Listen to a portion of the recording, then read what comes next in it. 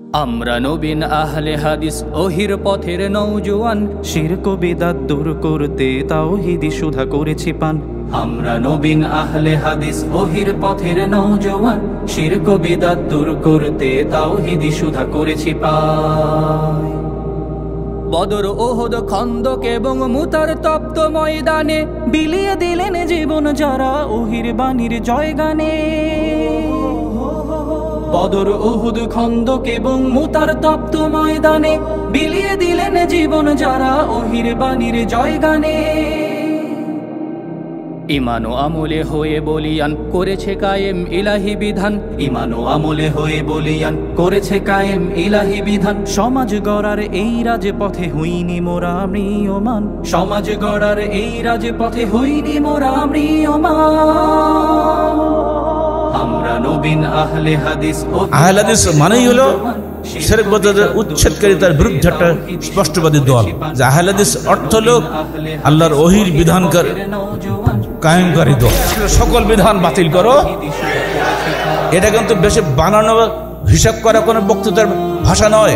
মাত্র দুই মিনিট দশ সেকেন্ডের হঠাৎ করে এসে গেছে, আল্লাহর পক্ষ থেকে এলহাম হয়ে গেল, বেটা, তুই বলে এখানে।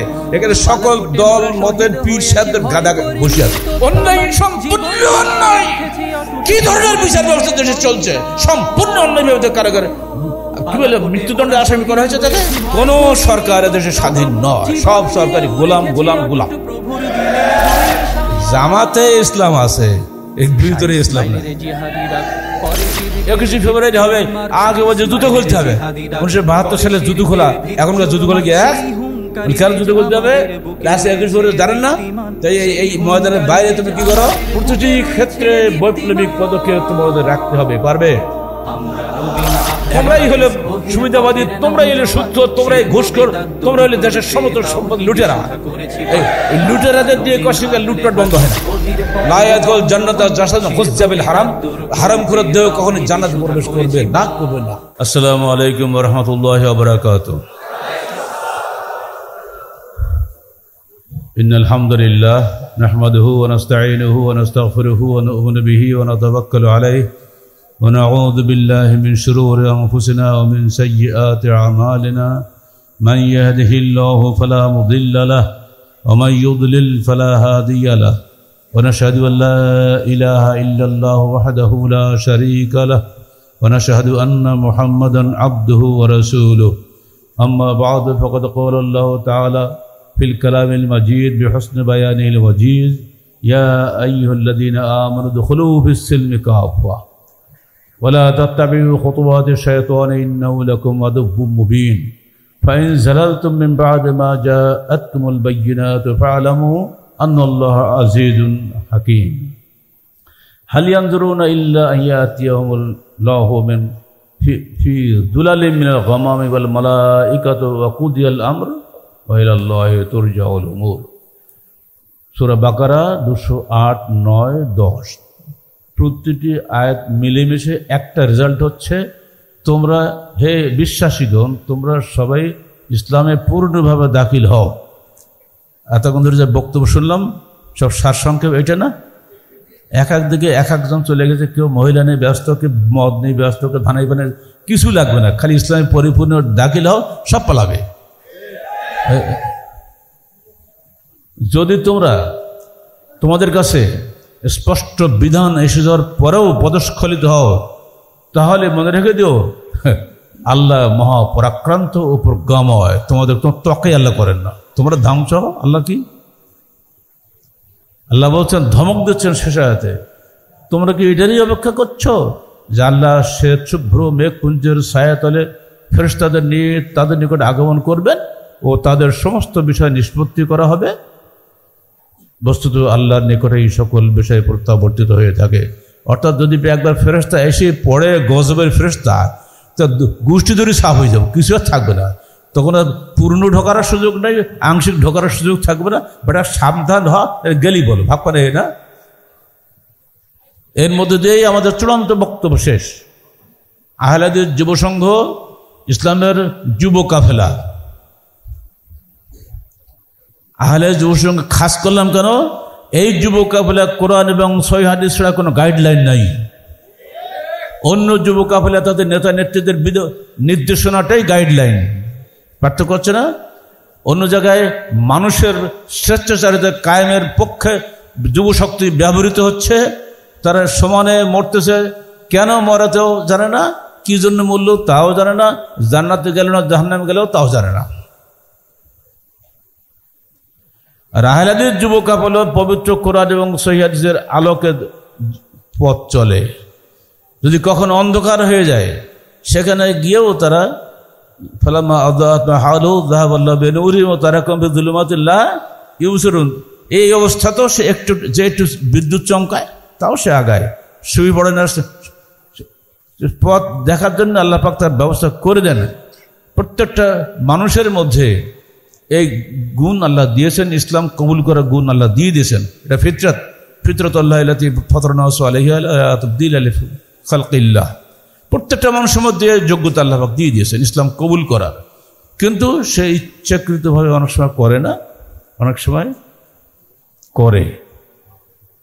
আল্লাহবাক বলে দিচ্ছেন অন্য আয়তে দেখো, আমরা তোমাদের কাছে ইসলাম পাঠিয়ে দিয়েছি। ফামান শাহ ফালি উমেন অমন শাহ ফালি আকফর ইন্না আতাদনা আলমিনা না যে ইচ্ছা করো, তোমরা বিশ্বাস করো, ইচ্ছা করো, সেটা পরিত্যাগ করো। মনে রাখো, আল্লাহ কিন্তু কোনো জালামদের খাতির করে না তার জন্য আগুন প্রস্তুত হয়ে আছে। এখানে বোঝা যাচ্ছে যে মানুষ তকদিরে মাহাজ নয়, মানুষ জবরিয়া নয়, মানুষ কাদরিয়াও নয়, মানুষ তকদিরকে অস্বীকারীও নয়, মানুষ তকদিরের উপরে পুরোপুরি ভরসাকারীও নয়। তাকে আল্লাহবাক স্বাধীনতা দিয়ে দিয়েছেন। ইন্না হাদায়না সাবিলা এম্মা শাহকরাম এম্মা কাফুরা। আমরা তাদেরকে পথ দেখিয়ে দিয়েছি, ইচ্ছা করলে তুমি শুকুর গোজার হতে পারো, ইচ্ছা করলে অকৃতজ্ঞ হতে পারো। এই ইচ্ছা করলে কথার মধ্যে প্রমাণ হয় যে মানুষের মধ্যে ইচ্ছা শক্তি আছে। তুমি সর্প হইয়া দংশন করো, পুলিশ হইয়া ধরো, তুমি যেমনি নাসি তেমনি নাসি আমার কি দোষ? এই যে গান গাইছে না সবাই এটাই চলবে? আহলা যুব সঙ্গে কোশ্চিন করলে এই সুন্দর গানটা গাইবে না। নূরজাহান বড় না, গায়িকা বাংলাদেশের তুমি আমার ইচ্ছা বলে কিচ্ছু নাই। গেয়ে মানুষ মাহাত করে দিচ্ছে। এবার ইচ্ছে না গান গাছে কেন? বাসুদিকা এই সমস্ত বাতিল আকিদা চলছে ধর্মের নামে। ধর্মীয় জাহিলিয়াত, রাজনৈতিক জাহিলিয়াত, অর্থনৈতিক জাহিলিয়াত সবগুলি চলছে এখানে। ফলে মানুষের সার্বিক জীবন চলে মূলত রাজনৈতিক, সামাজিক, অর্থনৈতিক, ধর্মীয় এই মৌলিক বিষয়গুলোতে যদি জাহিলিয়াত ঢুকে পড়ে চলবে কি দিয়ে? ধর্মীয় জীবনে এইসব জাহিলিয়াত ঢুকে পড়েছিল মূলত রাজনৈতিক পৃষ্ঠপোষকতায় খলিফাদের যুগে। যারা ছিল পুঁজিপতি খলিফা। তার হানাফি সাফি মৌলবীদের দরবারে ডাকিয়ে এনে কম্পিটিশন করাতো। হানাফি জিতলে এত টাকা সাফি জিতলে এত টাকা, হাম্বলি জিতলে এত টাকা। মানে ওরা চাইতো যে আমাদের সিংহাসন যেন ঠিক থাকে। জনগণ যেন ওই নিয়ে মেতে থাকে সারা জীবন। আমাদের বাংলাদেশে আমরা যখন ময়দানে এসেছি, তার আগের কথাই বলি, হানাফিয়ার আহলেজের বাহাস লেগে থাকতো না। আর বাহাস ছাড়া কি ইসলাম চলে না কেন বা আমাদের আহলেজদের বক্তৃতাই ছিল মিলাদ বেদাত, কিয়াম বেদাত, এই তো আমাদের বক্তৃতা ছিল। আহলাইজ ওলামা কিরামের বক্তৃতা তো আমিও ছোটবেলা কম শুনি নাই। আহলাদিস মানেই হলো শেরেক বদাদের উচ্ছেদকারী তার বিরুদ্ধে একটা স্পষ্টবাদী দল। কিন্তু তাদের জবানে কখনো এটা আসেনি যে আহলাদিস অর্থ লোক আল্লাহর অহির বিধানকার, কায়েমকারী দল। এইটা কখনো তাদের জবানে আসে হানবি খারাপ, আমি ভালো। হানাবি আহলে মেয়ে বিয়ে সাদী নেই। জোলা চাষার মেয়ে বিয়ে সাদী নেই। জোলা, বোঝেন তো? কারিকার এই পেশাগত বৈষম্যের ভিত্তিতে সামাজিক বৈষম্য অর্থাৎ বিবাহ সাদী সব নিষিদ্ধ। ঠিক ধর্মীয় মজাবি বৈষম্যের কারণে ধর্মীয় জীবনে বৈষম্য। অর্থনৈতিক বৈষম্য, তুমি হলে একবারে নিকৃষ্ট শ্রেণি, এই থার্ড ক্লাস লোকের মানুষের মেয়ে বিয়ে হবে মানে গরিব যে। এই বৈষম্যগুলো ছিল। আমরা যখন ময়দানে আসি, এইগুলো আমাদের চোখে দারুণভাবে ধরা পড়ল। এটা হতেই পারে না। প্রথম সংস্কার আল্লাহকে আমাদের করেছে। আমি বল, বেটা, জোলা দেখ, জোলার বাড়িতে ভালো মেয়ে খুঁজে বেড়া। জোলা তুমি বিয়ে করব আমি। তখনকার সময় আমার মতন উচ্চ কুলিন বংশ ছেলে জোলার মেয়ে বিয়ে করবে, কে বললি মারি ফেললি তা আমি করলাম গোপনে, কার বলিনি। শুধু মার সাথ বললাম, মা, আমি কিন্তু যাচ্ছ যা তুই যা বাবা, যা, আমার দোয়া রইল। জানে যে অভিভাবক করে কেউ অনুমতি দিবে না, বড় ভাইতে বেশি আছে তো দারুণ তেজি লোক। চলে আমি বিয়ে করবে তুই হ্যাঁ? এই তখনকার যুগের এই যুগ অনেক পরিবর্তন হয়ে জানি যখন আমি বিয়ে করলাম সব এলাকায় আলো আলোড়ন শুরু হয়ে গেল। কি ব্যাপার কি? আজ আজকে মোল্লা আহমদের ছেলে যা কোথায় বিয়ে করল? সর্বনাশ করে ফেললে দেখো, সব শেষ। অত সস্তাটা। আমার সময় দাঁড়ানোর ক্ষমতা কোনো বলি সব ছিল তখন। এক বক্তৃতা সব দিতে অবটকে বেটা। আল্লাহ কি জোলা বানিয়ে পাঠাইছে কাউকে? কাউকে চাষা বানিয়ে পাঠিয়েছে? বেটা, যদি চাষ না করে, তুই খাবি কি? আর জোলা যদি কাপড় না বানা তুই পরবি কি হ্যাঁ? বেটা, তারাই তো আসল। এই এক একটা বক্তৃতা দিতে হবে মানুষ আগুন হয়ে যেত বাপরে কথা ঠিক? এই হলো বিপ্লব শুরু হয়ে গেল কিন্তু। সার্বিক জীবনে শুরু হয়ে গেল। কোনো কথা চলবে না। এই, এটারই শেষ পরিণতি হলো ঢাকায় উনিশশো চুরানব্বই সালে উনত্রিশে জুলাই বিশ লক্ষাধিক মানুষের সামনে দুই মিনিট দশ সেকেন্ডের ভাষণের সুযোগ পাইলাম। সেখানেই আসলো সকল বিধান বাতিল করো। এটা কিন্তু বেশি বানানো হিসাব করা কোনো বক্তৃতার ভাষা নয়। মাত্র দুই মিনিট, দশ সেকেন্ডের হঠাৎ করে এসে গেছে, আল্লাহর পক্ষ থেকে এলহাম হয়ে গেল। বেটা তুই বলে এখানে। এখানে সকল দল, মতের পীর, সাহেবদের গাদা বসে আছে। যত পীর বাংলাদেশ আছে, বড় বড় পীর। কোনো পীর ওদের বোধহয় বাকি ছিল না। মাত্র দুই, আমি তো বগুড়া ছিলাম এক সম্মেলনে। আমাকে বলা হলো তখন তো মোবাইলের যুগ না রে বাবা? বলা হলো যে, ওই ঢাকায় এক কাণ্ড হচ্ছে। তাই নাকি? তখন অত পত্রপত্রিকা আমরা পড়তাম না। ওইখানে বসে হুকুম দিলে মাত্র দুদিন সময়।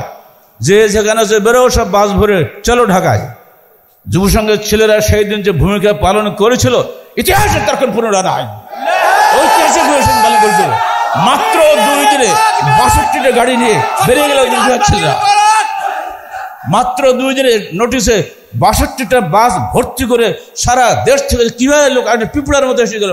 সর্বনাশ, এ কি? এ কোথাতে ঢুকলেরা মাল্লা মহিউদ্দিন খান দেখছে, এই আমাদের কিউটার নাম, বংশালের সামনে গাড়ি সব লাইন দিয়ে দাঁড়িয়ে আছে, সব একটা কি বলে, পানি ভরার জন্য একটা আলাদা পিক আপ ভ্যান বড় ট্রাক ভরা হচ্ছে। সেই সময় মহিউদ্দিন খানের লক্কর চক্কর মানে গাড়ি নিয়ে উনি ওই ধারে যাচ্ছিলেন। গাড়ি দিয়ে দাঁড়িয়েছে এই গালেব, এখানে তোমরা কি করছ? আমার, এই হাসান, এখানে কি হচ্ছে? এই যে আমরা যাব সম্মেলন, তাই নাকি? কটা গাড়ি? স্যার বাষট্টিটা গাড়ি আসছে সারা দেশ, তাই নাকি রে? স্যার, একটু অনুরোধ। আমাদের সভাপতি সাহেবকে একটু সুযোগ দিতে হবে। আমি অবশ্যই ব্যবস্থা করে দেবো। কিন্তু আহলেজকে সুযোগ দেয় না কি কেউ? আহলেজের নাম ছিল গাছ দুলি পড়ে পীর সাহেব। এক এক পীর ওঠে, চলে যায়, আর হাজার হাজার সব চলে যায়। ওর মুড়িদান সব পালায়। এই করে সম্মান কমতে লাগল। এখন সময় দেবে না? মহিউদ্দিন বারবার উঠছে আর নামছে। রাগে গড়গড় করতেছে। আল্লাহ তাকে জান্নাত নসিব করুক। ওই দিন যদি উনি প্রচেষ্টা না চালাতেন, কোথায় আমার এই ভাব? দুই মিনিট হারিয়ে চলে যেত সেদিন। উনি সেখানে শেষ পর্যন্ত বিজয়ী হলেন। জমিতা হালাজের সভাপতি সহ সভাপতি মানে সুপ্রিম কোর্টের নাম করে অ্যাডভোকেট আইনুদ্দিন বসে আছে একবারে সামনে দাঁড়িয়ে যেখানে বক্তব্য করালা স্পিকার, সেইখানে দাঁড়িয়ে যাতে ওনার টাইমটা আগে দেয়। তারপরে যাত্রাই মারাসার প্রিন্সিপাল সাহেব, আব্দুল কাসেম আবুল কাসেম কি? কেশরী, উনি বসে আছে। ওনাকে যেন সুযোগ দেয়। ওদের পাতা দেয় কে হুজুররা? মহিউদ্দিন খান বলল ওসব কোনো কথা শুনতে রাজি না। ওনারা এসছেন, একা একা কোনো লোক ডাকিলে মাথা মাথাতে করব কি? বাষট্টিটি গাড়ি নিয়ে যারা এসছে দুদিনে নোটিশে তাদেরকে সুযোগ দিতেই হবে। ওনারা জোরালো আবেদনের ভিত্তিতে সব শেষে মগরে আজান হবে। তখনই আমাকে উঠিয়ে দিল। আমি যেই সামনে গেছি, সঙ্গে সঙ্গে রবুল আমিন খান, তো এখন আসেন কি হবে উনি আমাকে বলছে, আপনি এসছেন? তো বলল ভাই যুব সংঘের নামটা যেন কালকে ইনকিলাবে আসে। হ্যাঁ ইনশাল্লাহ দিয়ে দেবো। আলহামদুলিল্লাহ, আগে এত তাড়াতাড়ি আলহামদুলিল্লাহ পরের দিন দেখা গেল, ইনকিলাবের সমস্ত হুজুরদের নাম আছে খালি যুব সংঘের নামটাই নাই। অথচ বুরুল আলম খান নিজে আমাকে ওয়াদা করে গেল, এই হলো ইনকিলাব। এটা পিস সাহেবের বক্তৃতা আর এসের পত্রিকা নয় এটা। আর প্রথম হলো নাস্তিকদের পত্রিকা, কোন মুসলমানদের পত্রিকা নাও। এই দুটা পত্রিকা আমরা নিয়মিত রাখি। নাস্তিক কি বলে, আস্তিক কি বলে। ওর মধ্যে দুই এক সময় দিয়ে আমরা কারাগারে গেলাম, তখন আমার পত্রিকা সাব ছিল আবার সাকিবের আর্টিকেল সাব ছিল তাহলে সব দিকে পত্রিকা বিক্রি হওয়ার দরকার। এখন গালার সাহেব কারাগারে গেছে, বহু কাটতে হবে। সব কিছু দুনিয়াবী স্বার্থের এগুলো কাজ করে। যাই হোক, মাত্র দুই মিনিট, দশ সেকেন্ডে কি যে জোশ, এসে গেল জাতীয় সংসদ, তাকে বলেছিলাম, যেদিন আইন ও সংসদ ভবনে কোরআন ও সহিজের ভিত্তিতে আইন রচনা হবে, সেদিন আমাদের সংগ্রাম থামবে আর কি। যা যা বলে অত সব মনুষ্য নেই। এই যে শুরু হয়ে গেল সমস্ত জনতা, সকল বিধান আপনাকে আল্লাহর আইনের অধীনে আল্লাহ বিধান চান, জাতীয় সংসদে আল্লাহর বিধান চান, সবাই বলছে চাই, বুঝুক আর না বলছে সব চাই বলে দিলে। তারপরে সকল বিধান বাতিল করবে আল্লাহ আকবর। ওদিকে আসাদ গেট, ওদিকে ফার্ম গেট, এর মধ্যে তিল ধরনের জায়গা নেই। ওই দিন যারা গেছিল আমাদের সাথে তারাকে আমার বয়সে যদি থাকো বেশি? হাত তোলো। যে থাকো। তুমি ছিলে? তখন তো বাচ্চা ছিলে নিশ্চয়ই। তখন যুবকদের টেস্ট করি বাবা? সেই তেজস্বী যুবক আজকে আব্দুর রহিম আজকে কারাগারে বসে আছে অন্যায়। অন্যায়, সম্পূর্ণ অন্যায়। কি ধরনের বিচার ব্যবস্থা দেশে চলছে? সম্পূর্ণ অন্যায় ভাবে কারাগারে কি বলে, মৃত্যুদণ্ডে আসামি করা হয়েছে তাকে? কারায় ঢুকলো, আর বেরোনের নাম নাই, কোন বিচার নেই। চলল চলল। এইভাবে যুবসংঘ এগিয়ে এসেছে। এটা আল্লাহর সম্পূর্ণ গায়েবী মদত, সকল বিধান বাতিল করে গায়েবী মদত এসেছে। যুবসংঘের সভাপতির মুখ দিয়ে এটা তোমাদের সবারই ভাষা কিনে তাই বলো। বাংলার ঘরে ঘরে কর্নারে কর্নারে গ্রামে গঞ্জে বন্দরে সর্বত্র এই আওয়াজ আসবে ছোট বাচ্চাদের মধ্যে, সকল বিধান বাতিল করো, ওই বিধান কায়েম করো। যখন সেইভাবে বলতে থাকবে, আস্তে আস্তে আল্লাহ কাছে কবুল হয়ে যাবে। একদিন বাংলার আকাশে, বাতাসে সর্বত্র, এমনকি যা বঙ্গভবনও এই বিধানেই প্রতিষ্ঠা লাভ করবে, ইনশাআল্লাহ।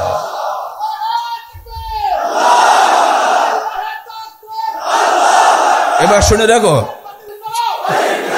যুব যুব সংঘের লক্ষ্য উদ্দেশ্য শেষে কি বলা আছে? সমাজে সার্বিক সংস্কার সাধনের মাধ্যমে সামাজিক ও রাজনৈতিক লক্ষ্য, আছে না? এই রাজনৈতিকটা একদল ইসলামী দল আগে রাজনৈতিক বলে, পরে সামাজিক। আগে হাতে ক্ষমতা নিয়ে নেই, এক হুকুমে সব নামাজ পড়াই ফেলল। এইসব চলবে না। আমার অভিজ্ঞতায় বলে যে সমাজ যদি পরিবর্তন না হয়, রাজনীতি পরিবর্তন হবে না। আর যদি আমার রাজনীতিতে ক্ষণিকের জন্য পাঁচ বছর বা তিন বছর বা চার বছর, এই তো। আর রাজনীতি চলে বিদেশের ইঙ্গিতে দেশের ভোটে কোনো রাজনীতি হয় না। যারা ক্ষমতা বসে আছে, ইন্ডিয়া আর কি বলে ওই আমেরিকা, রাশিয়া এদের এই ত্রিশঙ্ক অবস্থার মধ্যে আমাদের নেত্রী অনেক কষ্টে কোনো মধ্যে দেশের সার্বভৌমত্ব টিকিয়ে রেখছেন। ওটুকু আছে কেবল আল্লাহর রহমতে। কোন সরকার এদেশে স্বাধীন নয়। সব সরকারি গোলাম গোলাম গোলাম। স্বাধীন হতে গেলেই কলিজা লাগে। ওই স্বাধীন কথা বলতে গিয়ে সে মুজিবকে ধ্বংস করে সপরিবারে, জিয়াউর আমাকে ধ্বংস করেছে সপরিবারে, ওই শয়তানদের ইশারায়। যারা চেষ্টা করেছিল তাদের মধ্যে কথা তারা বলবে, তারা বলে নাই, আর সেই জন্য হলো অপরাধ। সেই অপরাধের শাস্তি হলো সপরিবার ধ্বংস। এগুলো ইতিহাস না জানলে হবে অত সহজ না কোনো রাষ্ট্রনেতা সামান্য সামান্য কারণে নিহত হয় না। পাকিস্তানের জিয়াউল হক যখন বলল, এদেশে ইসলামী হুকুমত কায়েম করব। ভুট্টো যখন বলল, খ্রিস্টানদের হাতে বোমা থাকবে, মুসলমানদের হাতে বোমা থাকবে না তাই কি হয়? ইসলামিক বোমা হবে। এই যে বলল তবে কিসিঞ্জার এসে বলল, ভুট্টো, তুমি এটা উইড্র করো। ভুট্টো হলে কোশ্চিনকালেও তো হতে পারে না। মুসলমানদের হাতে অবশ্যই বোমা থাকতে হবে। আচ্ছা তুমি দেখতে পাবে। মূল্য তোমার তো কয়দিন আগে, তাই না? একশো বছর বয়সে? সারা ওয়ার্ল্ডের মধ্যে আব্দুল আবনে ওবাইয়ের পরবর্তী কিসিঞ্জার নাম হলবে বুঝছ? আব্দুল ওবাই কেসির জানো তো? এত বুদ্ধি, ওর মধ্যে হৃদয় কোন নূর ঢোকে না জীবনে। খালি পেঁয়াজ দিয়ে দিয়ে রাষ্ট্রনেতাদেরকে ঘুরায়। তারপর দেখা গেল, বেশ কিছুদিন পরে হঠাৎ যখন তিনি সাতক্ষীরা গেলেন, এইটার পক্ষে জনমাস আমার আমরা ওকে বলতাম গিবতী সবর গিবতী সবরে সাতক্ষীরা গেল এগারোই সেপ্টেম্বরে, বৃহস্পতিবার। গেলেন সেখানে আমাদের সবচেয়ে জনপ্রিয় বক্তা তৎকালে আবুদার বর্ধমানী। এবং নির্বাচিত নতুন সেক্রেটারি আব্দুল অধ্যাপক আব্দুল গনি। আব্দুল গনি নিজে জামাসলাম করে। রাউতার বর্ধমান তো বুঝতে পারেন কেমন বক্তা। গজদন্ত, কাফেলা চলবে। এরকম টিটকারি করে গিয়ে আরাফাতের সম্পাদকে লিখত। অথচ একবার চিন্তা করতো না যে বর্ধমান সাহেবকে সম্পাদক দায়িত্ব দেওয়ার জন্য আমি আর আব্দুল মদিন সালাফি ছিলাম প্রস্তাবক এবং আব্দুল মদিন সালাফির বাড়িতে যাত্রাতে ভাত এনে ওনাকে খাওয়াতাম বংশালে। আশ্চর্য দেখা যুব সংঘ ছেলে তো খেপে গেছে। বললাম তো একটু আগে মাসুদ্দিন ইসাহের নেতৃত্বে বারোটা হুন্ডা নিয়ে সামনে ফেলাক হাইলে যুব সংঘ ওই ওই গাড়ির পিছিয়ে পিছিয়ে চলে আসছে সাতক্ষীরা থেকে যশোর। এইবার যশোরে ঢুকবে বক্সার মসজিদ আমাদেরই করা, চৌত্রিশ লক্ষ টাকা দিয়ে বক্সার মসজিদ করা আমার। সেখানে ঢুকবে সামনে বিশাল ব্যানার আহলাদির যুব সংঘ, জিন্দাবাদ। সর্বনাশ। এর নিশ্চিতে যাওয়া যাবে না। জমিয়তে নেতা যুব সংঘের ব্যানারের তল দিয়ে যাবে, এটা হতেই পারে না। অহংকারে স্ফীত হয়ে একেবারে দাঁড়িয়ে থাকল। এরকম।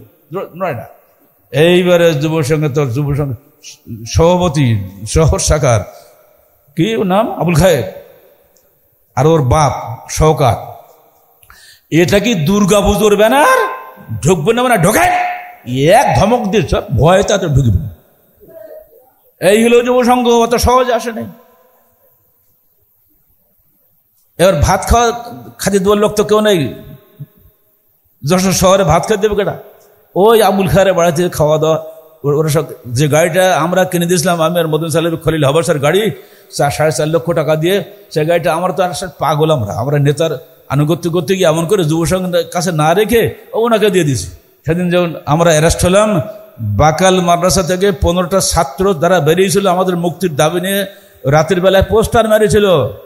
সকালবেলা ফজরের সময় উঠে আমাদের আলতাফ এমপিকে ইসলামপন্থী এমপি, কারা তা বুঝতে পারছেন তো?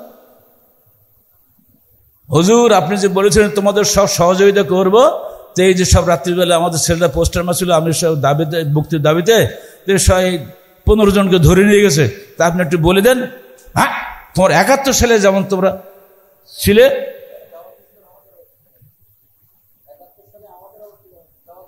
আমাদের অবস্থা একাত্তর সালে যেমন ছিল, তোমাদের অবস্থা এখন তেমনি হবে। মানে একাত্তর সালে আমরা স্বাধীনতার বিরোধিতা করেছিল না? সেটা বলতে একাত্তর সালে আমাদের অবস্থা যেমন ছিল, এখন তোমাদের অবস্থা সেরকমই হবে। অথচ তার দুদিন আগে বলে আসলো যে তোমাদের সব রকম সহযোগিতা করব। যখন দেখল যে এরা তো আসলে আমাদের কথা শুনছে না, এই উল্টে গেল শুন তাহলে কি হলো তাহলে? শুরু থেকেই বাধা বিঘ্ন চলছে না। পদে পদে এই বাধা মোকাবিলা করতে ঘরের লোক দিয়ে সকল রাফাদানিরাই এগুলি বাধা দিয়েছে। তো রাফাদানির সাথে তোর হাত যারা নিচি বাঁধে, তারা কি আমাদের ক্ষতি করবে নাকি? তারা করবে না। হানাফি সাফি দ্বন্দ্ব আর শিয়া দ্বন্দ্বে আব্বাসীয় খেলাফত ধ্বংস হয়েছে। এক সময়ে একচল্লিশ লক্ষ মানুষ নিহত হয়েছে। তাদের পচা গন্ধে আসবার কয়েকটা দেশ আরও মানুষ মরেছে। এই হানাবি সাফি দ্বন্দ্ব জোলা চাষা দ্বন্দ্ব, কৃষক প্রজা দ্বন্দ্ব, এই সমস্ত দ্বন্দ্বের বিরুদ্ধে একমাত্র বক্তব্য হলে এই চলো সবাই সকল বিধান বাতিল করো, ওহির বিধান কায়েম করো। এটা মেনে নাও, সব ঠিক হয়ে যাবে। প্রতিটি পদে পদে সংস্কারের চিন্তা যদি আমার আপনার মধ্যে না থাকে, তাহলে আপনি কখনোই এগোতে পারবেন না। আর সংস্কার যারা করে, তাদের প্রতি পদে পদে বাধা আসবে, এটা মোকাবেলায় বিশ্বাস নিয়েই আপনাকে পা ফেলতে হবে। সংস্কার করবে, এগিয়ে যাবেন, পিছিয়ে যাবেন না। দুর্বলতা দেখানো, বিশেষ বিশেষ করে তো লাফালি করো না, বিশেষ বিশেষ মানে গোলামির চাকরি।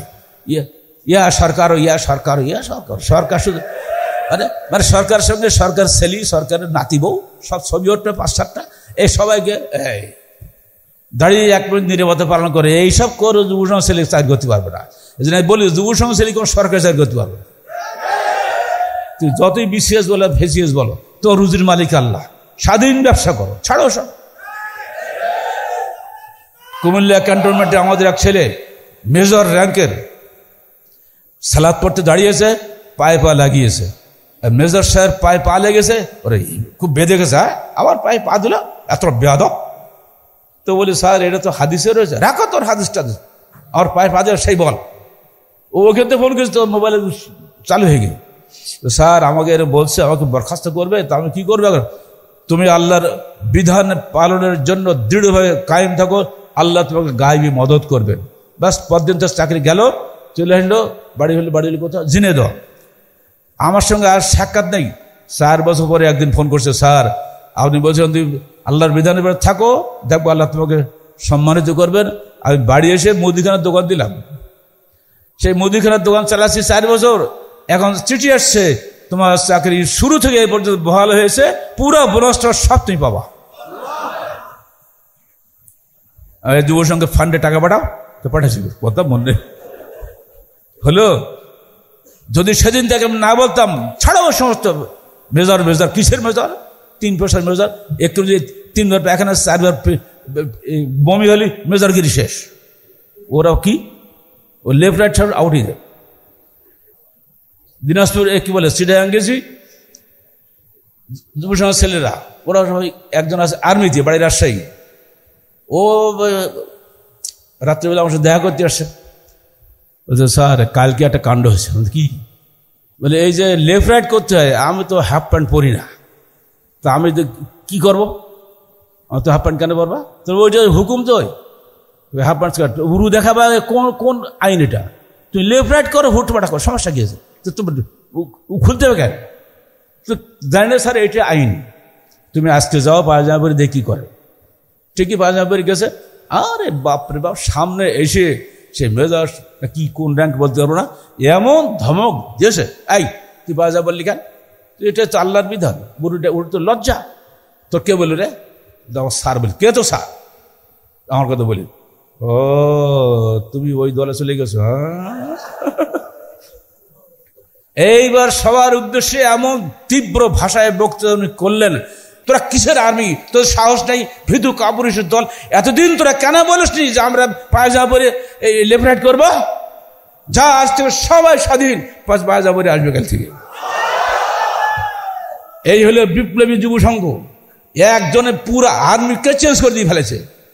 পিছন থেকে আমি কথা বলেছি বটে, কিন্তু এমনভাবে বলেছি যে ওর ভিতরে এমন তেজ গেছে। ওই ওতেই শেষ। আর তাতেই পুরো আর্মি পরিবর্তন হয়ে গেল। কোনো আপোষ করা চলবে না। আজ এটা আস্থা কানে কানে বললে হবে না। তাহলে বুঝবেন কানে কানে বলা বলি কাজ নাই। ডাইরেক্ট বলে দেওয়া। হয় হৃদায়ত হবে, নাহলে জাহান্নামে যাওয়া। আর কি?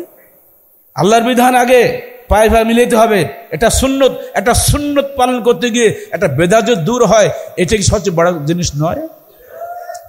ও তখনই যদি আমি মরে যেতাম ইনশাল্লাহ আমি জান্নাতে চলে যেতাম। আল্লাহ জানে যে কে কাজটা করলে পিছন থেকে। সব তো আল্লাহ জানে। হ্যাঁ আমাকে ধর কারাগারে দিল। আমাকে বলছে, আপনি, আমার ভাগিনা আছে, সদর তো, ওর বাড়ি উঠতাম তো। ওকে ও কারাগারে দিয়ে দিয়েছে। বার- ওর কি দোষ? বলে, এখানে সব আসতে বলে তোমার এই শাস্তি হয়েছে। কোশ্চেন করছে। সেখানে আমরা জঙ্গি ট্রেনিং দিতে যেতাম। তোমরা যে কাজ করলে শাস্তি পাবা। আলহামদুলিল্লাহ, সদরুর গায়ে একটা টাচ করতে পারে নাই। আমি নুর নুর ইসলাম সাক্ষী সামনে থাকতো। আমার তো দোয়া করতাম, আল্লাহ মুসা আল ইসলাম যেমন হারুন দোয়া করেছিলেন, ওই দোয়াটাই করতাম। আল্লাহ আল্লাহ মাফতা বাহিনী ও বানা আখি। মুসা দোয়া কোরআন আছে। আর আমি বলতাম কি, আল্লাহ মাফতা বাহিনী ও বানা এমনি অখতি আল্লাহ, তুমি আমার মধ্যে, আমার ভাগিদের মধ্যে ফয়সলা করে দাও। ও বলছে, একবার মারতে আসছিল, হঠাৎ হাত ঠান্ডা হয়ে গেল। বলে, ঠিক মামুদ দোয়া কাজে লেগেছে, আমার কিচ্ছু হয়নি। বুঝলে? যদি আল্লাহকে ডাকা যায়, আল্লাহ শুনবে না মানে? শুনবেই ইনশাআল্লাহ। আর এটা এই এই হিম্মত তোমরা অর্জন করো। যুবসংঘ যেখানে যাবে, সংস্থা সেখানে যাবে। বিয়ে পড়তে গেছো বিয়ে বাড়ি। ধরে মেলা কিছু যারা দরজা ধরে না, আমাকে দিয়েছে বিয়ের সময় বাপ হ্যাঁ গাদা কী সব দেয় না? রং টং কী সব এই এসব কেন রে? তাহলে এইগুলো আমরা পড়তে। হলুদ মুন্স গা দিয়ে কেন হলুদ বলতে সারা সাবান দিলে হয়ে যায়, সব ফেলে দিয়েছে। যেই যেই বিয়ে বাড়ি গল্প করি বাপরা কি জামা নিয়েছে সব ফেলে দিয়েছে। হলুদ মন কিছু মাখে না। একটু সাবান দিয়ে গোসলে চলি। কি জামা এটা? কিছুই মানে না। মন্ত্রীর ভাগ্নি বিয়ে করছে, মন্ত্রীর বাড়ি বিয়ে হচ্ছে মন্ত্রী সব লজ্জা হয়ে গেছে না? এত তো মন্ত্রীর লজ্জা হলে তো আবার কি হয়? এই যে মেজাজ থাকতে হবে, এই সংস্থার মেজাজ থাকতে হবে, কোনো কথা নাই যে, ওই মন্ত্রী দেখি রাস্তা হাঁটতে বেরিয়েছে। তা আমাকে বলছে, আসলে ভাই, আপনি এখানে এসছেন মোল্লা আব্দুর রহিম সাহেবের এলাকাটা মানে জামা ইসলাম আমির তখন উনি এদের জামাতে ইসলাম আছে ভিতরে ইসলাম নাই। এই একটা কথা আমাকে ওই উনি বলেছে আমি বলতেই পারেন এই হঠাৎ করে কি দিয়ে বেরিয়ে গেল? বলছে, আপনি ওদের যে মুডে ছিলেন যদি ওখানে আপনি ওকে সরেই না নিতেন আপনি একাই সাইজ করে দিতেন। আমাকে টান দিনে কোনো ভেঙে নিয়ে চলে গেল। হানিফ ভাই নিজে হানিফ ভাই ভাই আপনি থাকতে হবে না কেন? হঠাৎ। হানিফ ভাই মেয়র মানুষ আর আমাকে ধরে একে পাজা গোলা করে সেটি বাড়ি চলেন। এখানে আর হবে না। যারা যদি একবার বলি ফেলে সমস্ত শেষ ঘুলে যাবে না? এসব মানুষের কাজ গেলে আমরা একটা চূড়ান্ত জীবন্ত আতঙ্কের মতো হয়ে যেতাম। ঢাকার বংশাল ডেকে আহলে যে গাদা না, সেখানে আমি তো পাঁচশো আটত্রিশ নম্বর রুমে থাকতাম। কোথায়? ঢাকা? মহসিন হলে। মিলাদের সহবরাতের বিরুদ্ধে লিখেছি, তাহার কি বলেন আরাফাতে সে পত্রিকা দিয়ে আসছি স্যারের বাসায় ডক্টর মোস্তাফিজুর রহমান স্যারের বাসায়। আর ওটা আমার নিজের লেখা না শেখ বিন বাজেট একটা লেখার অনুবাদ। তো এইবারে স্যারের বাসায় দিয়ে আসলাম, স্যার পরদিন আসলে আমাদের হলেই প্রধান অতিথি হয়ে ওই সহবরাতের পক্ষে ফজিলত বয়ান করার জন্য। রাতেরবেলা যে আমি এই কাজ করে আসছি, স্যার তো জানা না। স্যার বাসায় গিয়ে দেখে এটা খুলি পড়ল, রে, গালেবের অনুবাদ পড়ল, আমার খুব ভালোবাসতেন। পড়ে বলছে তো ওষুধ দিয়ে গেছে এখন কি করা যাবে বলছে, যাচ্ছে, ফজিলত বয়ান করতে, ফজিলত বয়ান করা হবে না। কথা বুঝলেন না। সকালবেলা চলে গেছে সন্ধ্যেবেলা চলে গেছে। গিয়ে দেখে আমি নাই। দিয়েছে এমন ভাষণ। ইমাম সাহেবটা সব ছিল, তারা তোকে পক্ষে ভাষণ দিয়েছে। কিন্তু আর ফজিলতার বয়ান হলো না। এমনভাবে কঠোর ভূমিকা উনি নিলেন, সমস্ত সেলিব্রেটার নতুন নতুন জায়নাবাদ আসছিল, সবগুলোকে বের করে দিয়ে তালা দিয়ে চলে আসছে। পরদিন সকালে আমি গেছি গালে তুমি কালকে ছিলে না কেন? স্যার, আহলে ছেলেরা কখনই বেদাতের মজলিসেও ঢোকে না। না এইখানে তোমাদের সঙ্গে আমাদের পার্থক্য। খুব খুশি। পরদিন বিশ্ববিদ্যালয় মিলাদ হবে মানে সয়বরাত সেই অনুষ্ঠানে গিয়েছেন আমাদের ডিপার্টমেন্টের চেয়ারম্যান, তখন চেয়ারম্যানের উস্তাদ ডক্টর ইসাক সাহেব। যিনি ইবনে তামির পিএইচডি ডিগ্রিধারী ডক্টর সিরাজুল হক সাহেবেরও ছাত্র। এরা সব বসে আছে। আর ইসাক সাহেব তোতলা মানুষ, তবলিগ জামাতের আমির। মানে বিশ্ব, দেশের শ্রেষ্ঠ আমির। উনি উঠে তোতলা তোতলা ভাব নিয়ে অনেক কথা বললেন বেড়াত না করলেন। ওই যে সুরের দোকানে একটা বলল ইনাজি মোবারক আদিন এইটা বলে দিলে সবাইবাদের পক্ষে লম্বা বক্তৃতা। লম্বা তো বলতে পারেন তোতলা তো এক কথা পাঁচবার বলে। যাই হোক, তারপরে মোস্তাফিজ স্যারকে ভিসি সাহেব বলছেন আপনি কিছু বলেন। উনি উঠে সবাদের বিপক্ষে যা বলা সব বলে দিয়েছেন। ও তো রাগের চোটে হ্যাঁ হ্যাঁ মোস্তাফিজ মোস্তাফিজ কি জানে? ও কি জানে? ও কি জানে? শুরু করে ছাত্র তো? এবার সাহেব বলছে, আমি আজকে বুঝলাম, সারা বছরের বাজেট প্রতিবারে ছয়বারে ছয়বারে তো বাজেট হয়, এই জিনিসটা ধোকাবাজ। সরকার যদি পাঁচ বছরের বাজেট একবারে করতে পারে, তা আল্লাহ কি পারে না? যুক্তির মাথায় ঢুকে গেছে। না, যখন আমরা আল্লাহর মায়ের গর্বে ছিলাম, তখনই চারটা জিনিস লিখিত হয়ে গেছে। বাজেট সেখানে শেষ, নতুন করে বাজেট হবে না। আমি বলছি আজকে যতদিন আমি এখানে ভাইস চ্যান্সেলর থাকব, বিশ্ববিদ্যালয়ে পয়সা খরচ করে আর কখনোই সহবরত অনুষ্ঠান বিশ্ববিদ্যালয়, ঢাকা বিশ্ববিদ্যালয় হবে না। সমস্ত লোক মেনে নিল। সাধারণ সাধারণ টিচার যারা, তারা যারা যুক্তিবাদী, তারা কেউ কেউ তোক বুদ্ধি উঠল। ঠিক হয়েছে আজকে থেকে বেশি গেলাম আমরা সবাই হালুয়াটি খাওয়ার গজব থেকে বেশি গেলাম। উৎস কে বলে? পিছন দিয়ে কিন্তু কলকাতা আমাদের নাটতে হয়েছে। স্যার বলছে, গালেব তুমি তো আমাকে চাবি দিয়ে দিলে কাজটা আমি করে দিলাম? আলহামদুলিল্লাহ আপনাকে পূর্ণ যা দান করবে। কারণ আমি তো ছাত্র, ওইখানে তো আমি যেতে পারি তো আপনার যেতে হবে। এইভাবে বিশ্ববিদ্যালয়ে সর্বত্র কলেজের লাইফে যেখানে আমরা গেছি, সেখানেই সংস্কার হয়েছে। একুশে ফেব্রুয়ারি হবে, আগে বলছে জুতো খুলতে হবে। উনিশশো বাহাত্তর সালে জুতো খোলা, এখনকার জুতো খোলা কি এক? কেন জুতো খুলতে হবে? রাশি একুশ ফেব্রুয়ারি জানেন না। তাই এই ময়দানের বাইরে তুমি কি করো? আর কথা বললা চলো তোর বাবার দোকানে যাব। ওর বাবার ওষুধের দোকান আছে, রাস্তার জাট অপোজিটে সেখানে যেয়ে বলে দেখি, তো এই চাষা ওদের পায়ের তলে স্যান্ডেল কেন? কেন? সমস্যা কি? যে আপনার ছেলে আমার বলছে জুতো খুলতে। এই, কি বলেছিস? সব বলতে হবে না। সেই সময় এটা বলা, একা একা তোর যুব সংঘ ছিল না। এত সহজ মনে করো না, এখন তো সব ইজি হয়ে গেছে। প্রতিটি ক্ষেত্রে বৈপ্লবিক পদক্ষেপ তোমাদের রাখতে হবে, পারবে? এখন তোমাদের সব সাবজেক্টে বই হয়ে গেছে না? এই যে বলা হলো ইয়ে কথা অর্থনীতির কথা খুব বলা হলো। এখানে মৌলিকবাদ তিনটে পার্থক্য আছে। সমস্ত রক্ত, সমস্ত পুঁজি নিজের পকেটে জমা হয়, আর গরিবরা, মজুররা কিছু কিছু পায়। এই জন্য যাতে ওরা বেশি বেশি করে আমাদের কাজটা করে দেয়। ইন্ডিভিজুয়াল লাভ। আর স্টেট ক্যাপিটাল কি, সমস্ত পুঁজি সব সরকারের ওখানে জমা হবে, তোমার পকেটে কিছুই থাকবে না। এটা হলো সমাজতন্ত্রের পুঁজি বলবে এরপরে ইসলামের কথা আমরা তোমার শুনেলাম তু খাজমন আগ্নিয়া আহিম তোরাত দিলে ফকরা আহিম ধনীদের কাছ থেকে নাও, গরিবদের মধ্যে বিতরণ করো, রেখে দিও না। এই হাদিস যখন এসে গেল তখন আসলে ইসলামিক ইকুইটি ইকুয়ালিটি নয় ইকুইটি ইসলামিক ন্যায় বিচার ভিত্তিক অর্থনীতি। একটা হলো পুঁজিবাদী অর্থনীতি, ব্যক্তিভিত্তিক। একটা রাষ্ট্রীয় অর্থনীতি ব্যক্তির পকেটে কিছুই থাকবে না।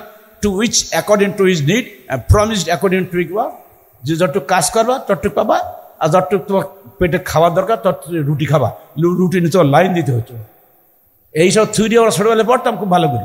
এই জন্য এখনও বুঝ- বুঝতে হতে পারে।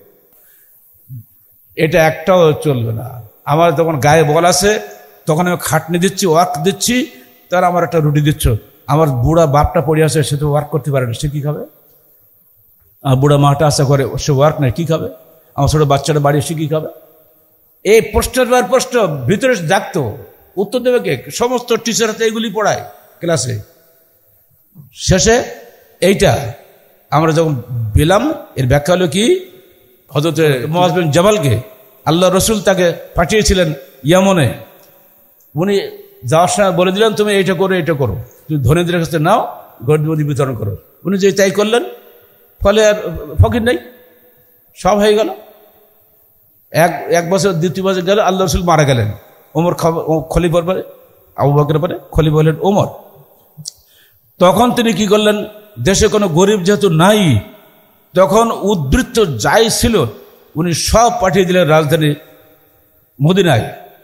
ওমর বললেন, তোমাকে কি আমি পাঠিয়েছি খাজনা আদায় করার জন্য?